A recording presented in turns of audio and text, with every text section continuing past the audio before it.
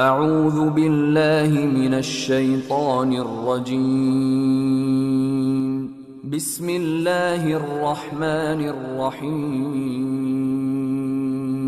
والفجر وليال عشر والشفع والوتر والليل إذا يسر. هل في ذلك قسم لذي حجر ألم تر كيف فعل ربك بعاد إرم ذات العماد التي لم يخلق مثلها في البلاد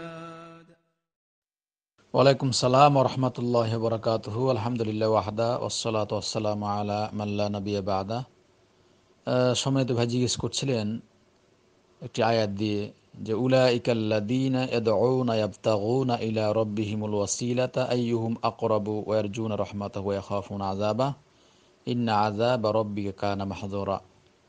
এই আয়াতে কি কোনো অলির মাধ্যমে অসিলা করা বা রাসূল সাল্লাল্লাহু সাল্লামের মাধ্যমে অসিলা করা যাবে? সম্মানিত ভাই, আসলে কোনো নবী বা রাসূল বা কোনো অলি যাদের বলছেন, তাদের মাধ্যমে অশিলা করা যাবে না। তাহলে অসিলের অর্থ আমাকে বুঝতে হবে যে অশিলাটা আসলে কি। অশিলার অর্থ হলো যে নৈকট্য অর্জন করা। নৈকট্য অর্জন কি করে করবেন? নৈকট্য অর্জন নৈকট্য অর্জন করা যায় কয়েক পদ্ধতিতে। তার ভিতরে অশিলা দুই প্রকার। শরীয়ত সম্মত অশিলা আর যেটা শরীয়ত সম্মত নয়, সে অশিলা। মানে যেটা শরীর সম্মত অশিলা করা যাবে আর একটা করা যাবে না। শরীয়ত সম্মত অশিলা হলো যে আল্লাহর উত্তম যেগুলো নাম রয়েছে, তার সিফাত রয়েছে, তার মাধ্যমে আপনি অশিলা করেন। আল্লাহকে বলেন, ইয়া রহমান, হে আল্লাহ, তুমি করুণাময়, আমার উপর করুণ- করুণা করো। ইয়া রাজ্জাক, হে আল্লাহ, তুমি রিজিক দাতা বিধায় আমাকে পবিত্র রিজিক দাও। আল্লাহকে বলেন, ইয়া গফার হে আল্লাহ, তুমি ক্ষমাশীল, বিধায় আমাকে ক্ষমা করো। এইভাবে এরপর আল্লাহ বলেন, ইয়া রাহিম, হে আল্লাহ, তুমি দয়াবান বিধায় আমার উপর দয়া করো। এইভাবে আল্লাহর নামের মাধ্যমে অর্থ বুঝে আল্লাহর কাছে ওসিলা করা। আর একটা ওসিলা হলো সৎ আমলের মাধ্যমে ওসিলা করা।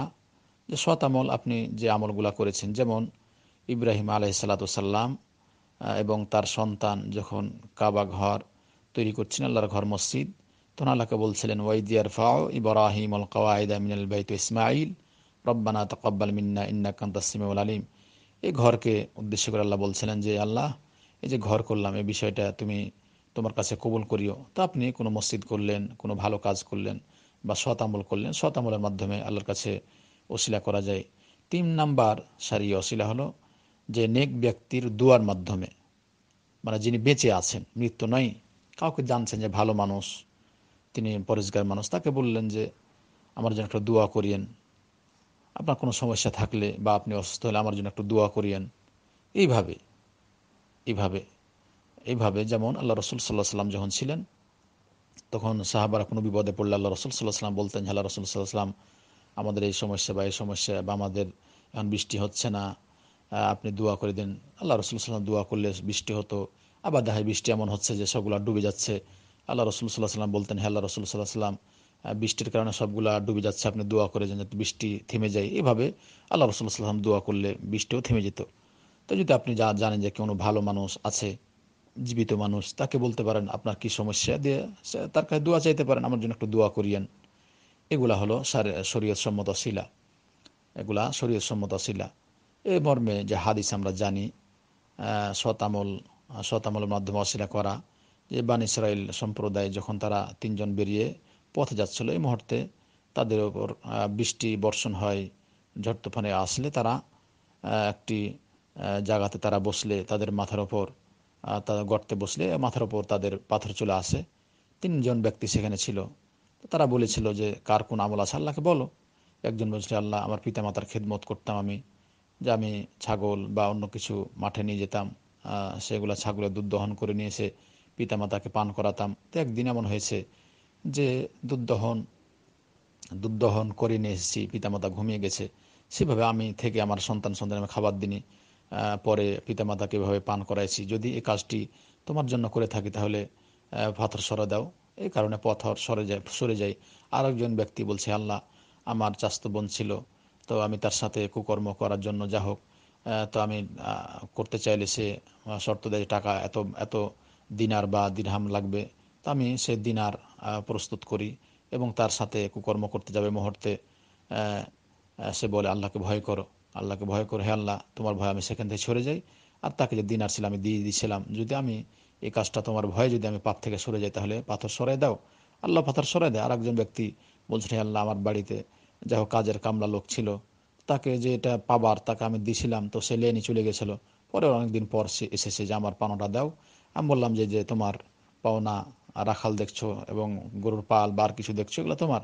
সে বলছে, না, আমি এগুলো চাই না, আমি যেটা পাবো সেটা। বলছে, না, এটা তোমার জন্য, তোমার ইয়ে থেকে। তো হে আল্লাহ কাজটা যদি আমি তোমার জন্য করে থাকি, তাহলে এ পাথর সরে দাও। এগুলো শতামূল পিতামাতার খেদমত করা শতামল জেনা, বিবেচার থেকে নিজেকে রক্ষা করা শতামল আমানত রক্ষা করা, এগুলো শতামল শতামলের মাধ্যমে আল্লাহ তাদের রক্ষা করেছিলেন। এভাবে আপনি অশিলা করতে পারেন, অশিলা করতে পারেন। জি, আর যেগুলা নিষেধ অশিলা যেমন আপনি বলতে পারেন, কবরের কাছে যদি বলেন যে, আল্লাহ অমুক পীরের মাধ্যমে আব্দুল কাদির জেলানি বা বাইজিদ বুস্তামি এর মাধ্যমে তোমার কাছে অমুক জিনিস যাচ্ছে, এগুলা করা যাবে না।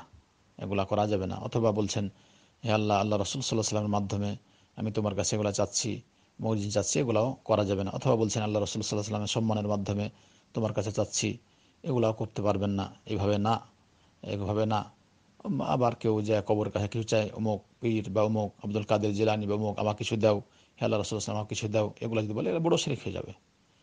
এভাবে মৃত্যু ব্যক্তির মাধ্যমে বা কোনো জাতসত্তার মাধ্যমে এভাবে অশিলা করা যায় না। এগুলো শরীর সম্মত নয়। এগুলো শরীর সম্মত নয়। ওই আয়াতে বরং আল্লাহ নৈকট্য অর্জন করা যা বললাম, যে আল্লাহর যেগুলো উত্তম নাম রয়েছে উত্তম নামের মাধ্যমে আপনি আল্লাহর কাছে অশিলা করেন। ওয়াসিলা করেন, আল্লাহ বলছেন অলিল্লাহ আসমাউল হসনা ফাদা আল্লাহ সুবাহ তালার উত্তম উত্তম নাম রয়েছে। নামের মাধ্যমে আল্লাহকে ডাকেন আপনি। যেগুলো নাম যে বললাম এর আগে, এ রাজ্জাক, এ গফার এ রাহিম, এ রহমান। এভাবে আল্লাহকে ডাকেন এবং অর্থ বুঝে আল্লাহকে বলেন আল্লাহকে আমাকে উপর রহম করো, আমার উপর দয়া করো, আমাকে রিজিক দাও, আমাকে ক্ষমা করো। আর শতামল বললাম যে শতামল আপনি যা করছেন, মসজিদ তৈরি করছেন মাছ তৈরি করছেন অন্যায় কাছ থেকে নিজেকে রক্ষা করেছেন, পিতামাতার খেদমত করছেন, আমানত রক্ষা করেছেন। এগুলোর মধ্যে আপনি কাছে হসিলা করেন, চান। কোনো ভালো মানুষ পেলেন, আপনি তাকে বলেন যদি আপনার কোনো সমস্যা হয়ে থাকে, দোয়া চান তার কাছে। যিনি জীবিত আছে, দোয়া চান, আল্লাহ যে আমার জন্য একটু দোয়া করেন। এভাবে মৃত্যুর মাধ্যমে কোনো ব্যক্তি বা যাকে উলিয়া উলিয়া বলছেন বা নবী রাসুলের মাধ্যমে যেভাবে বললাম, এভাবে অশিলা করা যাবে না। এভাবে অশিলা করা যাবে না। এগুলো শরীর সম্মত নয়। আমরা যেন শরীয়ত অনুযায়ী জীবনযাপন করতে পারি। এবং কোরআন হাদিস যেগুলা আমরা শুনছি, জানছি, সে অনুযায়ী জীবনযাপন করতে পারি। আল্লাহ সুবাহ তালা যেন আমাদের ইহকাল পরকাল কল্যাণ দান করেন। ও আখরে দাওয়ান আহমদুল্লাহ আলমিন। সুবাহানাকাল্লাহ আহমদিকা আসাদ